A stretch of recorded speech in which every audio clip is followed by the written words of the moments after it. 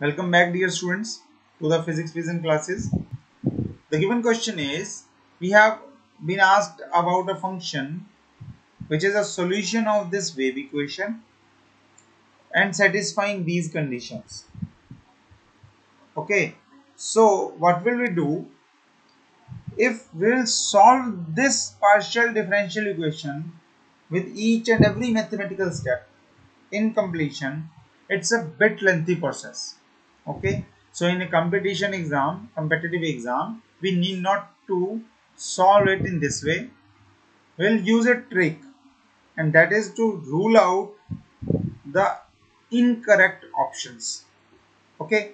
For example on the basis of our understanding of wave equation we know that the solution of the wave equation like in SHM or in EM wave or in any other similar problem solution is of this kind.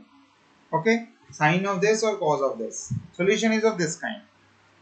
So the first option cannot be uh, can cannot be correct.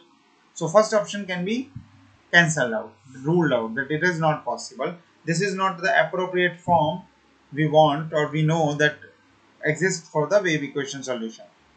So similarly in the next case we also know that wave equation is symmetrical in nature and it treats two parts at equal footing. So option C is also questionable. But we'll prove it in other way around.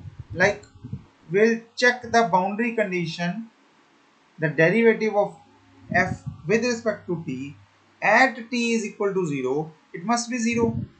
But you take the derivative of option B, what it would be? It would be e raised to the power the same factor multiplied with minus 2 times of x minus vt x minus vt into minus v. And if we put t is equal to 0 this exponential factor will give you 1 and this vt will give you 0 so you will be left out with plus 2xv okay? Similarly in this case we'll be getting 1 sine 1 sine plus 2xv upon 4 and minus 2xv into 3 by 4. Since these two factors are not equal, so these two terms will not cancel out with each other at t is equal to 0.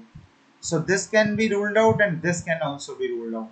But it satisfies all the conditions. So option D is the correct answer to this question okay? So make sure that you are not going for the complete solution of the problem of the differential equation. It's quite cumbersome. But you are ruling out the options in order to attempt it in a less time. Okay? So stay tuned with us for such questions and doubts and thanks for watching